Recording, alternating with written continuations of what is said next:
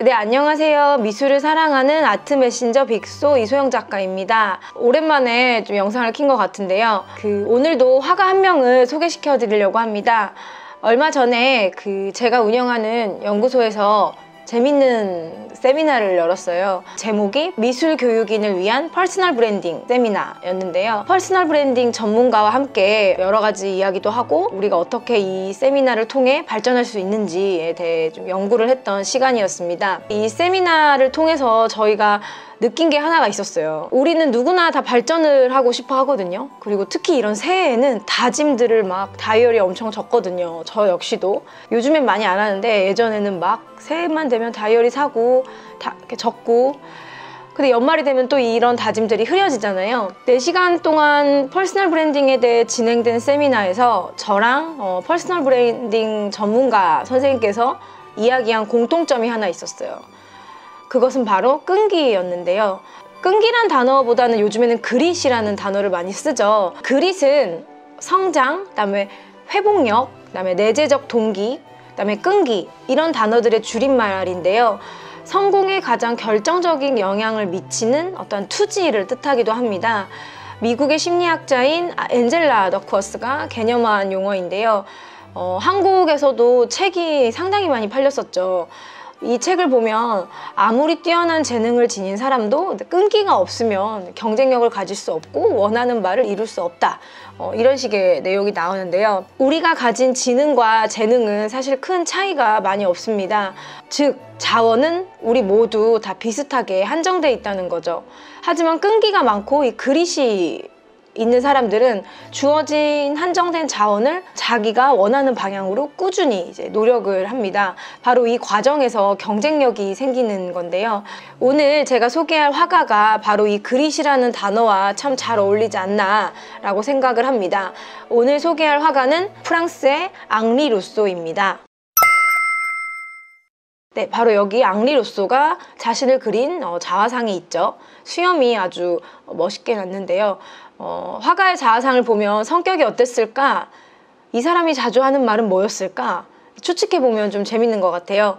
프랑스의 화가 앙리 루소는 화가가 되기 전에 상당히 긴 시간을 세관원으로 살아갑니다. 그래서 이제 그의 별명은 세관 관리를 뜻하는 두아니에 루소였습니다. 거의 50세가 가까워서야 이제 화가로 데뷔한 앙리 루소는 사실은 세관원 시절에도 일요일을 활용해 꾸준히 그림을 연습하던 사람이었습니다. 그 직장을 다니면서 일요일마다 그림을 그리면서 어, 자신의 꿈을 향해 나아갔던 거죠.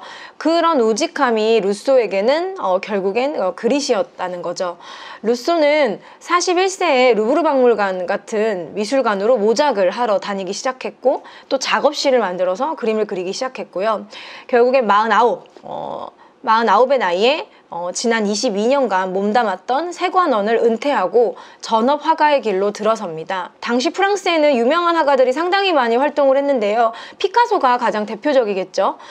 하지만 피카소는 아버지도 미술 선생님이었고 3살 때부터 미술을 시작했다고 합니다. 그런 피카소에 비해 루소는 상당히 늦게 시작을 한 거죠. 하지만 미술사 책을 보면 루소는 당당하게 소박파의 일원으로서 게재가 이렇게 되어 있는데요. 물론 뒤늦게 미술을 시작한 화가들이 참 많지만 앙리 루소는 유독 자신만의 화풍을 되게 잘 펼쳤던 작가이기도 합니다. 앙리 루소를 대표하는 그림은 아마도 이 그림이 아닐까요? 제가 지난 12월에 어, 뉴욕의 모마에 또 오랜만에 갔는데 다시 한번 이 작품을 보고 아, 진짜 참 좋다 심장이 뛴다 라는 생각이 들었어요 다들 이 그림이 생각보다 이렇게 큰지 몰랐다고 하는데 제 사진하고 비교해보면 얼마나 이 작품이 큰지 알 수 있습니다 그림 속 여인은 어, 루소가 한때 사랑했던 폴란드인 어, 야비디가입니다. 루소는 어, 당시 사람들이 꿈꾸는 이상적인 정글에 쇼파를 하나 딱 놓고 그 위에 이 아비디가가 누워 풍경을 바라보는 모습을 그렸습니다. 어, 저는 이 작품으로 어린이들과 숨은 그림 찾기를 자주 하는데요. 지금부터 한번 제가 이야기하는 것들을 찾아보시면 좋을 것 같아요. 사자, 코끼리, 피리 부는 사람, 그 다음에 새. 어, 다 찾으셨나요? 어, 쉽게 찾을 수 있죠.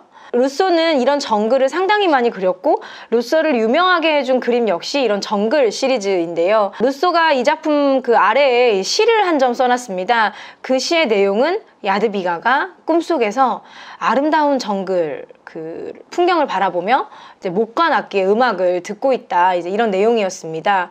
이런 정글은 19세기 후반 혹은 20세기 초에 프랑스 사람들이 상상한 어떠한 이상적인 그런 공간인데요. 루소는 자연만이 나의 스승이야 라고 말할 정도로 자연을 탐구하는 걸 좋아했고 또 도서관이나 식물원에 상당히 많이 갔다고 합니다. 특히 식물원에 가서 자신이 보지 못했던 수많은 식물들을 관찰하고 그리고 그런 모습을 많이 보였는데요. 사람들은 루소가 이제 이국적인 풍경을 상당히 좋아하기 때문에 외국에 참 많이 갔을 거야 라고 추측을 하지만 아시죠? 루소의 직업은 주 6일이라는 공무원이었잖아요.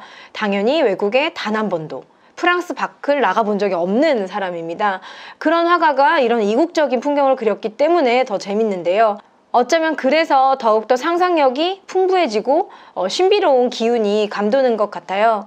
제가 좋아하는 또 다른 루소의 작품은 바로 이 작품인데요. 저는 이 작품을 좋아해서 제 책 그림은 이로다에도 소개를 한 적이 있어요. 1890년 낙선 전에 출품한 작품입니다. 근데 이 그림을 보면 상당히 재밌는 게 배경은 상당히 조그맣고 루소는 아주 크게 그려져 있어요. 루소는 풍경보다 자기 자신을 훨씬 크게 그렸는데요. 어, 루소 뒤로는 망국기가 펄럭이고 있습니다. 1889년 파리의 망국 박람회를 기념한 그런 망국기죠. 화가를 상징하는 베레모를 쓰고 있고요. 파레트를 이렇게 들고 있습니다. 그리고 자세히 보면 마치 공중부양을 하는 것처럼 공중에 붕 떠 있는 기분도 들고요. 아마도 루소는 세계에서 인정받는 화가가 되고 싶었나 봅니다. 그래서 망국기가 휘날리는 풍경 앞에 자기 자신을 아주 어, 담대하고 뿌, 이렇게 뿌듯하게 표현을 한 것 같아요. 근데 재밌는 건 파레트를 자세히 보시면 어떤 글씨가 적혀 있는데요. 이 글씨를 확대해 보면 어, 자기보다 세상을 먼저 떠난 두 아내 클레망스와 조세핀의 이름을 이제 나란히 적었습니다. 저는 늘 이 작품을 보면서 루소가 세 명의 몫을 살아가고 있다라는 생각을 했습니다.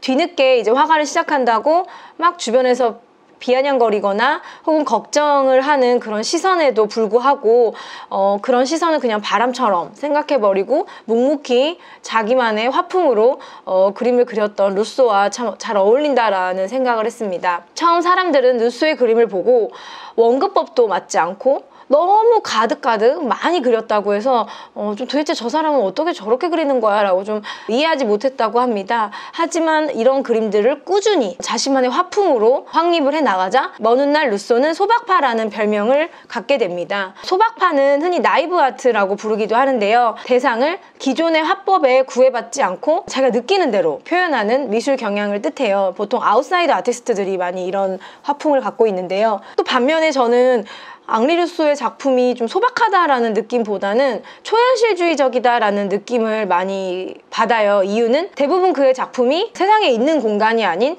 상상의 공간을 표현했기 때문이고요. 또 무대 위에 있다는 생각을 저는 항상 받습니다. 이유는 앙리루소의 작품을 보면 달이 상당히 많이 등장을 해요.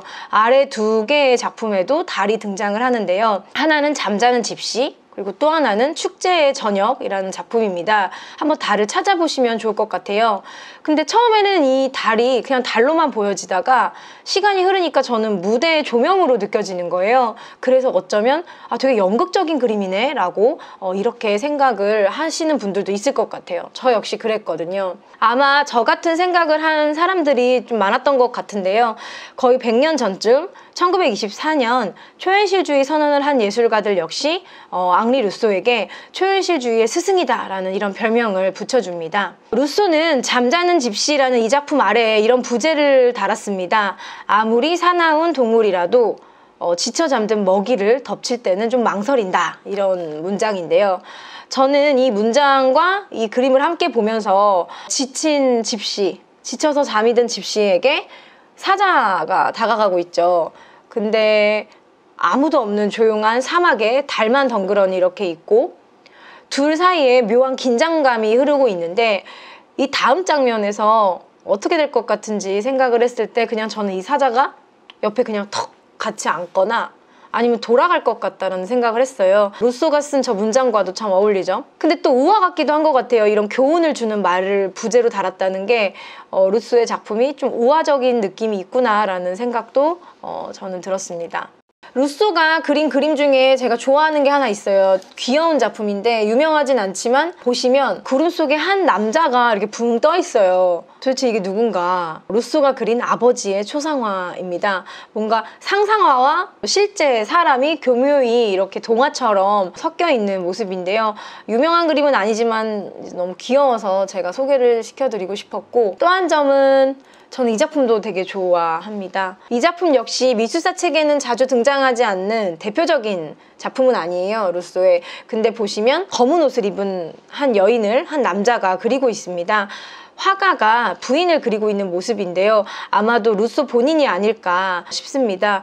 마치 크레파스로 꼼꼼하게 그린 듯한 이런 화풍이 루소만의 어떤 독보적인 순수함을 표현을 하는 것 같아요. 그래서 저는 이 작품도 보면서 좀 마음이 따뜻해진다라고 생각을 했습니다. 루소의 그림에서 어떤 부분을 찾으시면 또 재밌냐면요. 이 당시에는 프랑스 파리가 에펠탑이 세워지고 열기구가 막 이제 하늘에 있고 또 새로운 문물들이 어, 많이 등장을 하던 시기였는데요. 이런 것들에 대해 되게 흥미를 가졌던 루소는 그림 속의 에펠탑이라던가 열기구 아니면 하늘을 나르는 비행기 이런 것들을 많이 담습니다. 지금 보시는 이 작품이 바로 대표적인 것 같은데요. 하늘에 열기구도 있고 그다음에 강 밑에 배도 흘러가는 변화무쌍한 당시 파리의 모습을 표현하고 있습니다. 이제 마지막으로 어, 이 작품인데요. 화면의 한 가운데 중절모를 쓴 남자가 노틀담 성당 앞을 걸어가고 있어요. 프랑스 파리 여행 가시면 노틀담 꼭 가잖아요. 어, 바로 그 장소인데요. 멀리 보이는 핑크빛의 석양이 이 쓸쓸한 신사의 모습과 참 어울리는 것 같아요. 1909년 루소가 죽기 한 해 전에 남긴 작품입니다. 66세의 나이로 어, 삶을 마치며 많은 후배 작가들에게 새로운 화풍의 길을 열어준 앙리 루소. 그의 장례식에는 그의 성격과 어울리게 단 7명의 친구만이 조촐하게 참여했다고 합니다. 루소의 묘지는 들로네가 비용을 계속 꾸준히 냈고요. 비석은 조각가 브랑쿠 씨가 세웠다고 합니다. 오늘은 제가 루소의 유명한 작품과 잘 알려지지 않은 작품을 함께 보여드렸는데요. 다음번에도 이제 또 다른 어, 화가들을 저만의 방식으로 소개를 하도록 하겠습니다. 그럼 저는 오늘은 여기까지 작품 소개를 하고요. 다음번 또 다른 작가로 만나 뵙겠습니다. 안녕히 계세요.